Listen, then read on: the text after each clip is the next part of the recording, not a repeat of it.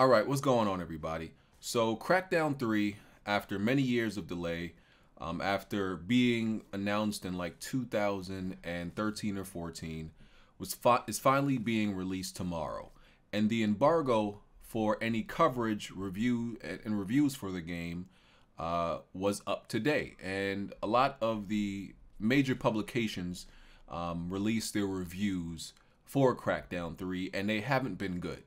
Most of the re- reviews are pretty bad to mediocre, a, a little bit mixed. Now, I had decided that I was not going to buy or play Crackdown 3, not because of any reviews, because I don't base my purchases um, on any reviews for games. I buy the game and then I make my own decision. I don't know if anybody, you know, realizes this, but most all of these publication reviews, they're, they're just glorified opinions, right? So I don't, I never, never ever uh, use reviews as like a guide to me buying a game. I never do it. I was simply not going to buy this game just based on the gameplay that I saw because I, whether or not most of us realize it, we pretty much make the, the decision on if we're going to buy a game from like maybe the first few trailers of us seeing that game. We do, you know, eye test. It's it's we analyze the game just based on what we're, what we're seeing, not vi- not only visually but gameplay wise, and that's why trailers are important. I think trailers are way more important than any any review, right? So, just from the how the gameplay seemed from you know the trailers and the different demonstrations over the years, the game just wasn't looking very good to me, right? But I don't believe I can fu- fully criticize this game and have you know, full judgment of this game until I actually play it and beat it. And that's why I'm contemplating or at least thinking about it. Because I can say, you, you know, I'm okay with somebody saying a game, you know, apparently looks trash. You can say that all day long, but you can't actually declare it as that until you've actually until you've actually played it. And if I if I'm going to, you know, just objectively talk about this game, you know, I, I, do want to play it. So I'm, I'm thinking about playing it um, and you know just fairly judging it. But so as i said the reviews came out and very very low very mediocre. It's currently at a 60 at the time when i'm speaking. It might drop to a, a 59 or maybe less because there are a few uh, other um, scores that have not came out yet and you know, I participate in the jokes sometimes on Twitter and social media, social media and everything like that. I think all that stuff isn't all good fun. So I was, you know, laughing and joking and everything today. You know how Twitter gets. But underneath all of the jokes, you know, by the end of the day, I was honestly, I was like, it was, it was a little bit sad. It was a little bit depressing. What was a little bit sad and depressing was the damage control. And I think some of the damage control is funny, right? It's I think some parts of it are all in entertainment, but then it gets to it goes it passes the threshold from funny to legitimately sad, pathetic, and and just downright depressing, right? Because in all of these jokes we make is the hope for better. I think a lot of us, honestly, make these jokes because we want Microsoft and the Xbox brand to do better, to stop producing mediocre, lackluster products. And I said this on Twitter. I said, let me actually read it verbatim. I said, one of these years, Microsoft will have a Last of Us moment, and I'll, i guess I'll explain what I mean by a Last of Us moment. Um, I said one of these years, Microsoft will have a Last of Us moment that will that will show us their studios can create something greater, and all of you defending all of this mediocrity will look foolish because you were not a part of the wave that demanded more from them, but you will benefit from those who spoke up. In all of these jokes, what I want is Microsoft and the execs and and the developers to look at at their reputation of the games they release. Look at all these scores, look at all the criticisms, Look at look at all the 67s and 69s and 65s and, and maybe 59s of all their games. And just be like, no more. No more.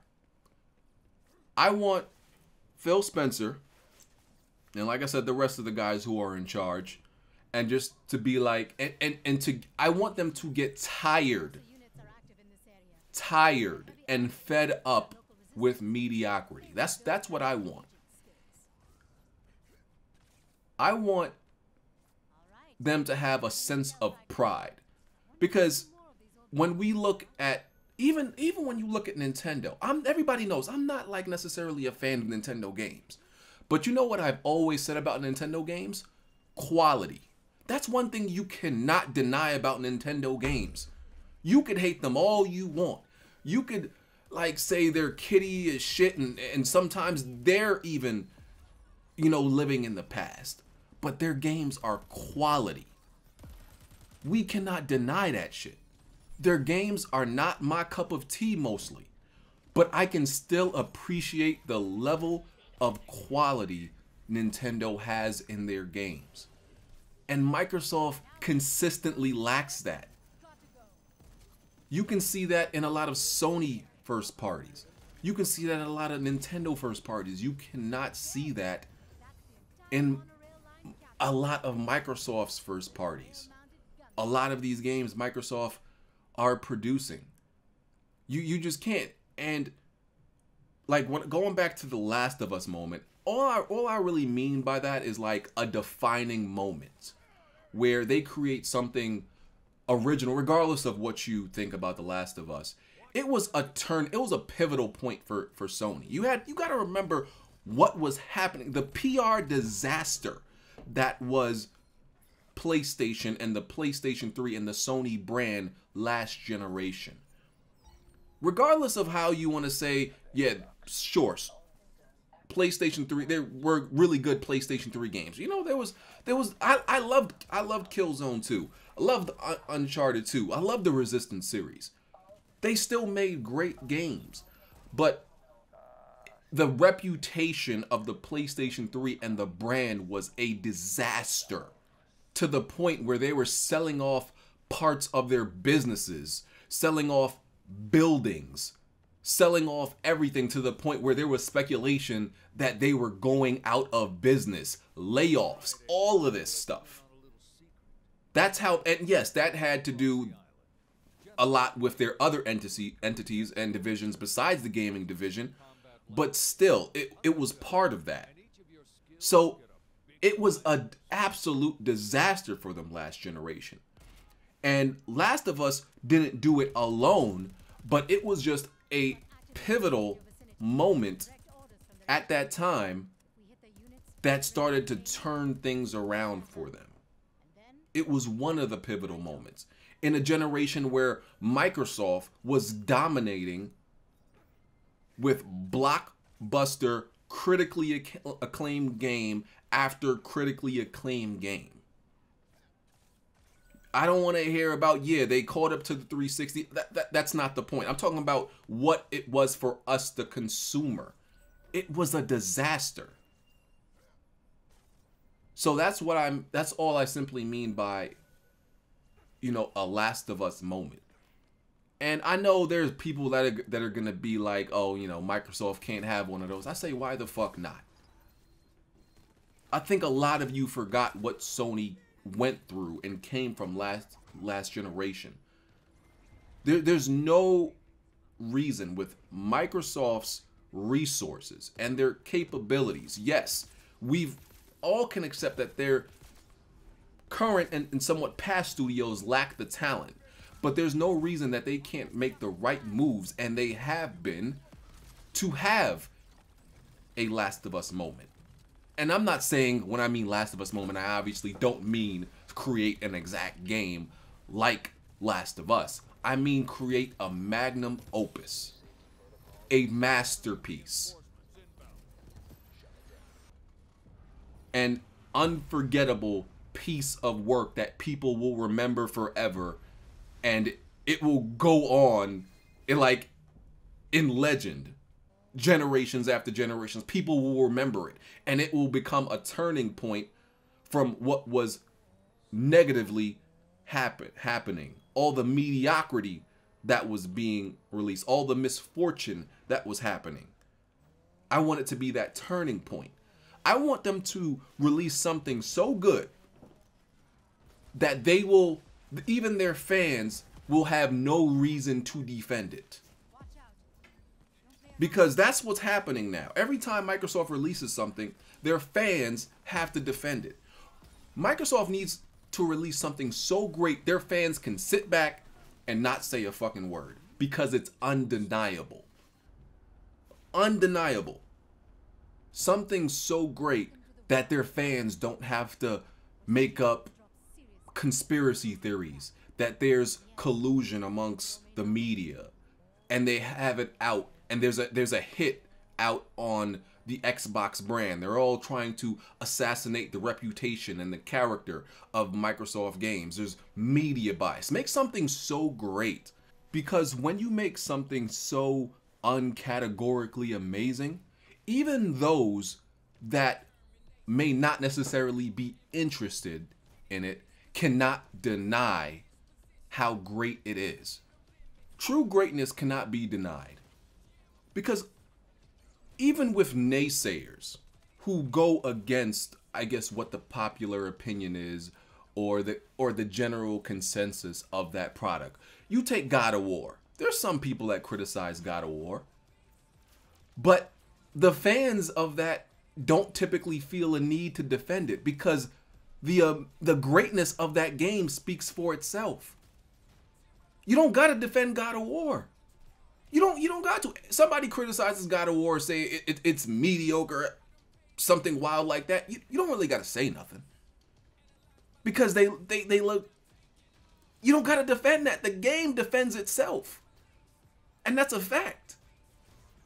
Even me, there are people that feel like Witcher 3 and Persona are absolutely amazing games. I don't like either one of those games. But the fans of those games don't become super defensive, typically.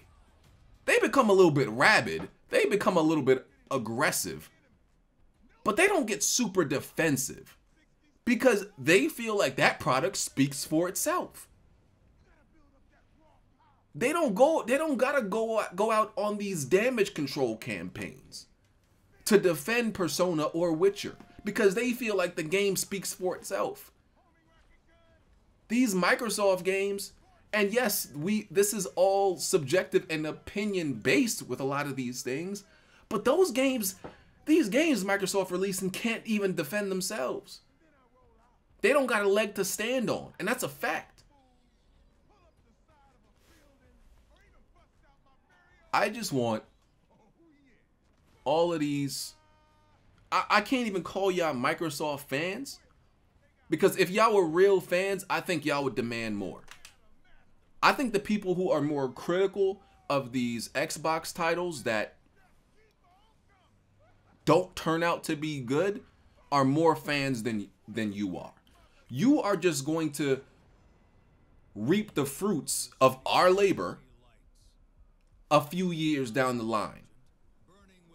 When Xbox tightens up, when they change and start to produce products that the people really want. So, honestly, all I want from all of you who are accepting and tolerating anything Microsoft gives you, all I want from you is a thank you later.